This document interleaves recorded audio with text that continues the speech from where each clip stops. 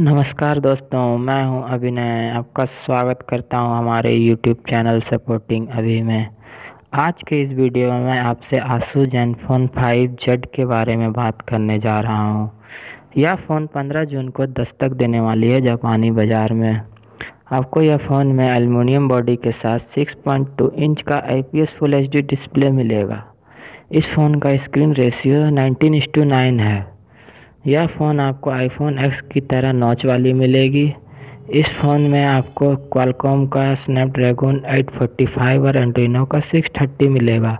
इस फ़ोन को आप चार सौ जी तक एक्सपेंड कर सकते हैं और यह फ़ोन आपको डबल हाइब्रिड सिम के साथ आएगा। आप बात करते हैं कैमरे की। रियर में आपको डबल कैमरा मिलेगा 12 प्लस 8 मेगापिक्सल का और फ्रंट में आपको 8 मेगापिक्सल का सिंगल कैमरा मिलेगा। फ्रंट में सिर्फ़ सिंगल कैमरा?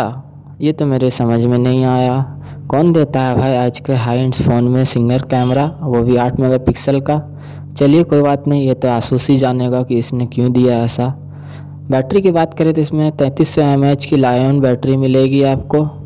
देखते हैं अभी यह फ़ोन जब बाज़ार में लॉन्च होगी तो इसका सीधा टक्कर वीवो के नेक्स और वन प्लस सिक्स के साथ होने वाला है, जो कि ये फ़ोन बेहतरीन है अपनी जगह में।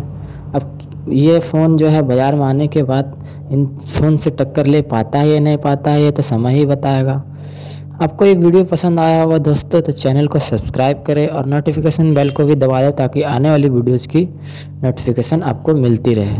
थैंक यू बाय बाय मिलते हैं अगले वीडियो में।